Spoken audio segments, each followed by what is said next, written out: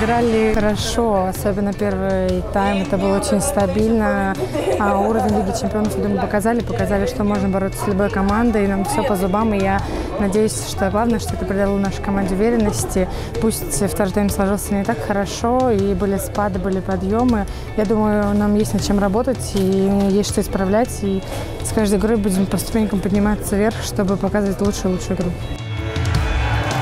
Ну, Мне кажется, девочки играли все 60 минут и буквально оступились на последних минутах, и это привело к поражению. Я думаю, я не думаю, я видела, что все огорчены, печально, потому что ощущение, что мы эту выиграли игру, не проиграли.